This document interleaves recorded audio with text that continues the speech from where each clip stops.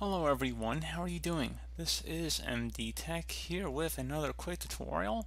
In today's tutorial, I'm going to show you guys how to resolve if the minimize, maximize, and close buttons are missing from Google Chrome. So should hopefully be a fairly straightforward tutorial guys, and without further ado, let's go ahead and jump right into it. So what I'd first recommend doing would be to open up the Chrome browser, if it's not already open.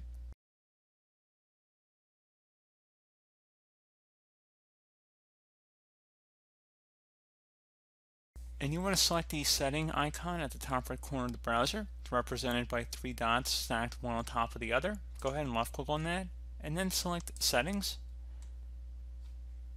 Select appearance on the left side and then where it says theme if you had changed the theme there'd be an option to reset to default which I'd recommend tapping on so again if you had any themes in your browser you want to go click the reset to default button very straightforward process. That's all there is really to it.